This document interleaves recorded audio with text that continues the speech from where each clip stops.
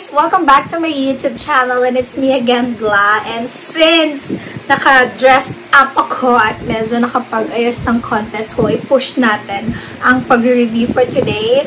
Um, I'll be doing a review um, dun sa isang Michael Kors um, bag ko pa. It's from retail. And I think you've seen this but um, hindi ko palang nagagawa yung full review about this bag. Um, this bag is not a new um, model or design. Um, sobrang matagal na rin siya but I also like the bag. It's similar to, the features are similar to Cassie or Cassie 19 of Coach. So, there. Um, I've also been, same as the Selby, nag-iisip din talaga ako if I'm gonna keep it or if I'm gonna sell it.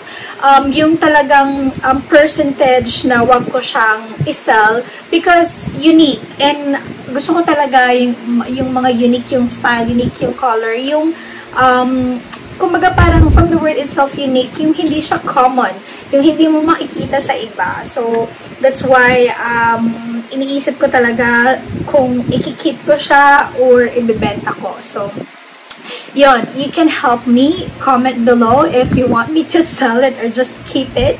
So there. And without further ado the bag that i'm talking about is this one. It comes since this is from retail it comes with this white michael kors dust bag so there um this one is the sloan messenger bag this one in um color black um the color is in white in coffee and in um, beige or in uh, nude color.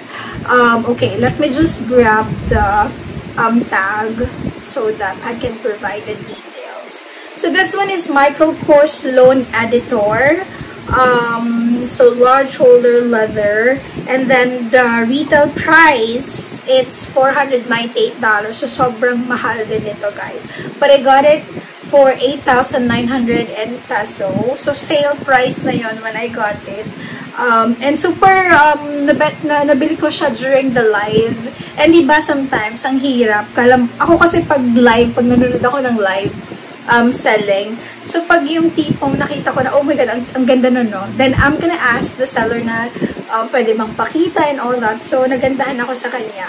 Before, meron siyang kasamang isang color. I think it's color black color black um, din siya, pero fuchsia pink, so touch ng pink naman yung mga colors niya. But this one, um, nagpunta kasi ako sa safe side, that's why I choose this one, this color.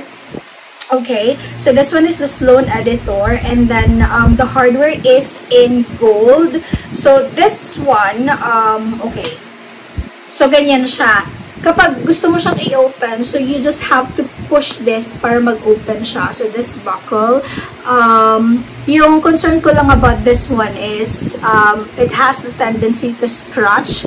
Kasi, ang ganda ng pagkaka-gold lang niya, guys. So, and then, yun lang. So, kailangan mo siyang i-push pag isasarado mo siya. So, feeling ko, um, kumbaga parang yung tendency talaga na ma-scratch is mataas when you're using the bag. But, well, it it is bound to happen. So, dead man na. Um, it has this Michael Kors um, logo here in front of this buckle. And then, um, at the back, it has um, back slip. And then, ano siya, um, snap closure. There. And you can put your mobile phone in here. So let me try. So this one is 8 plus. So you could put your mobile phone at the back. And then you can close it. There. Um, no feet. But ito yung sinasabi ko, it's like the Coach Cassie because of this um, dimensions or gosseted. Or gosseted siya talaga. There. So, yan. And, okay, when you open the bag, so yun na nga, it has this extra pocket in front, or slip pocket rather. Here, I'm not sure if kasha yung mobile phone, but yeah, this one is 8 plus again. Um, I guess, yeah, kasha, but you have to force it like that. Okay, there. And then, um, it has this um, very um, chunky, very chunky pa, chunky D-ring na kakaiba. So, this one. That you could put your adjustable strap. So, it comes with this thick adjustable strap and the clasp, yung mga buttons or rivets are in gold. Um, although, um, adjustable in a way na both sides. So, hindi siya yung normal na 7 holes. This one, both sides siya. And the holes, number of holes, 1, 2, 3. So, 3 holes left and right. Okay? Okay. Inside, so this one is the main compartment. It has slip pocket, a small slip pocket, and another zipper pocket. The zipper pocket is much bigger than the zip pocket there. It has this um, care card. So there. Um, and then fabric inner lining. So there. In terms of dimension, um, let's measure the bag.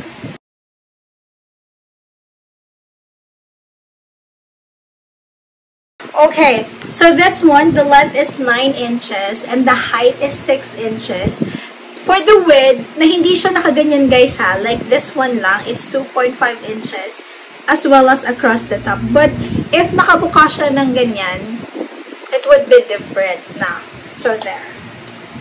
So those are the measurements of this Sloan editor. And now let's try to put things inside.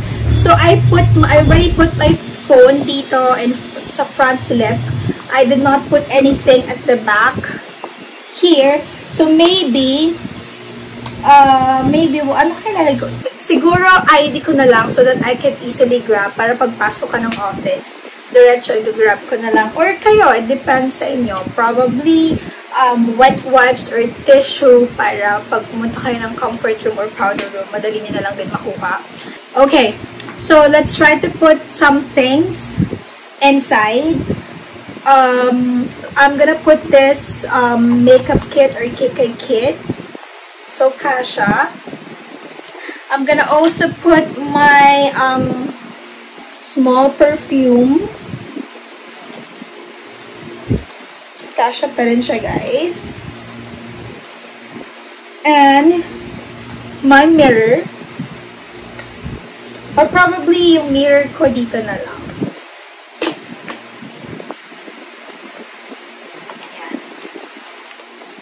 And uh, my small purse.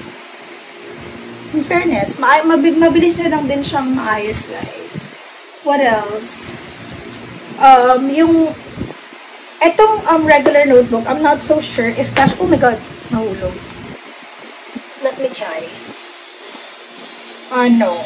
Hindi kasha yung regular notebook. Probably yung small version na notebook. At muntik nang mahulog, guys. Kaloka. Ayan. Um, probably siguro tissue or small wet wipes. Ah, hindi na. Huwag ko na itong ilagay kasi wala na siyang laman.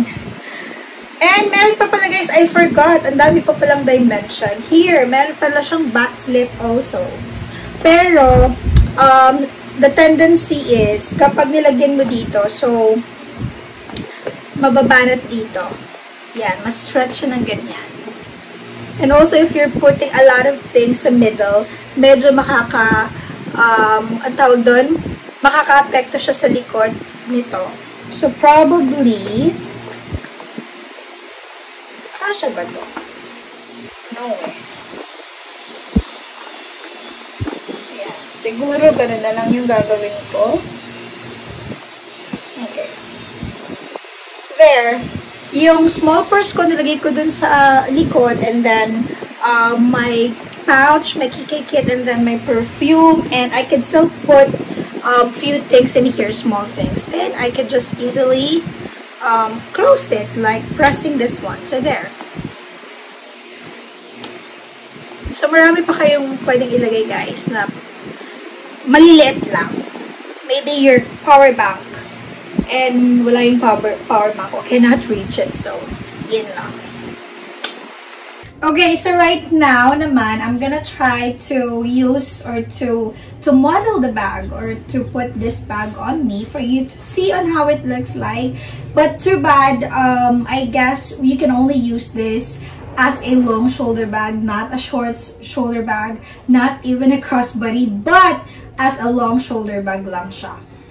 So again, um, it is adjustable here, pero to nasa middle siya So, 1, 2, 3. So, nasa middle hole siya. Same as the other one.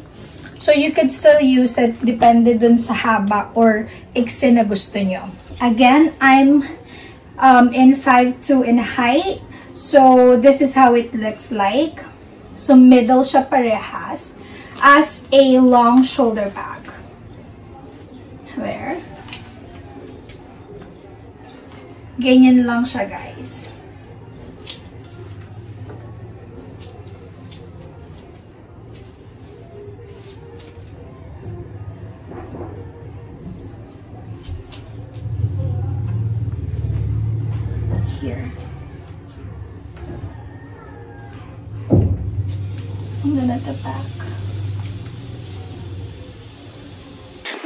I share my thoughts on this bag, I forgot to mention this one is in smooth leather. Okay, so my thoughts on this bag. First, the color. I like the color as mentioned. I just have two options um, before. The pink color black and the brown color black. So I choose the brown just to be safe. It's one of the basic colors and I can just easily match it with my clothes. And that's the reason why uh, I chose the, the brown one. And um, yeah, maganda rin naman siya. Hindi rin naman ako nagsisi. And I don't have um, a brown um, bag pa. As in, ito ata yung first brown bag ko. And then, um, I also like the hardware. It's in gold. One of my favorites. Yun yun talagang parang pinaka-common na hardware. It's in gold. And I also like that it has this um, Michael Kors um, logo in here. So, nakadagdag din siya ng ganda. It's actually in black. I'm not sure if you're able to see it. Pero, black yan. I super like. I also like this chunky strap. Very um, unique um, kakaiba siya dun sa mga iba, sa straps ng Mike, ibang Michael Kors na nakikita ko as well as the adjustable strap and um, I also like that um, it has this uh, slip pocket inside wherein I can put my phone so safe naman siya. And it's still um, there's a lot of compartments that you can put your small things your kit kit your face uh, face powder your lipsticks and all. Um, so yeah um, if you're into a small bags you will love this loan editor. Um, my cons though um, I, I like the strap, but it could have been better if I can use this as a crossbody as well um, so that I have an option to use it as a long shoulder bag or a crossbody which actually yun naman yung normal and what else I think yun lang yung cons ko oh, um, overall, I like the Sloan Editor bag. And very lightweight. Actually, same, well, except for the notebook. Yung nilagay ko sa Selby, halos parehas. Wala lang tong notebook and um, mas magaan siya. Although, the notebook is just, ano lang naman eh, magaan lang naman. So, I'm not so sure. Maybe the Selby is mabigat. Pero hindi, magaan siya eh, pag walang laman. So, probably the notebook, yun yung nagpabigat. But this one, um, magaan siya. Okay, so that's it. Um, again, Thank you, thank you so much for those people who recently subscribed to my channel and continue watching my videos. Thank you so much. And um, if you're new here, I hope you consider in subscribing if you find my content interesting for you. Um, please also like this video and hit the notification bell so that you will be notified anytime I have a new video. So that's it guys. Thank you so much and I'll talk to you again next time. Bye!